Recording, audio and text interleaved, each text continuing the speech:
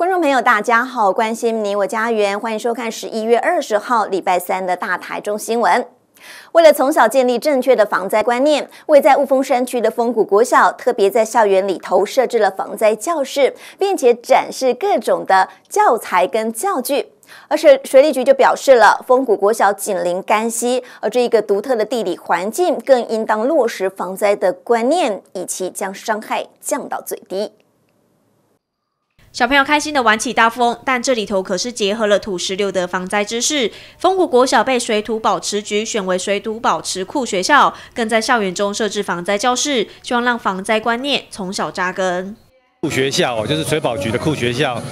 他们大部分是选在山区了哈，当然他们现在已经开始在城市地区也都有。库学校的成立，那台中市政府哦也成水利局也成立爱水学堂，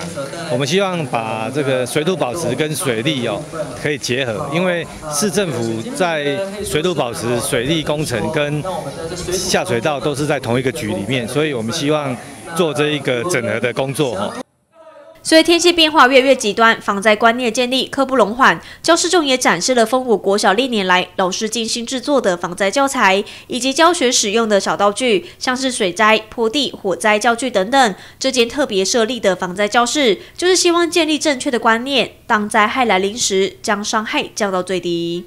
我们过去对于防灾的教育的推广啊，是融入各科。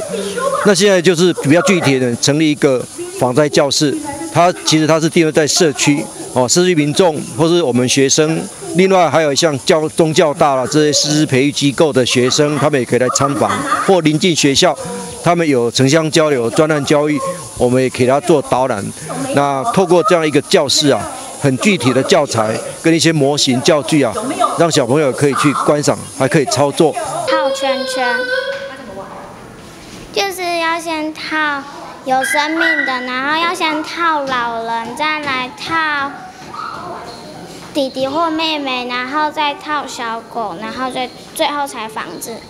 那你觉得这个教室怎么样？可以学到很多知识。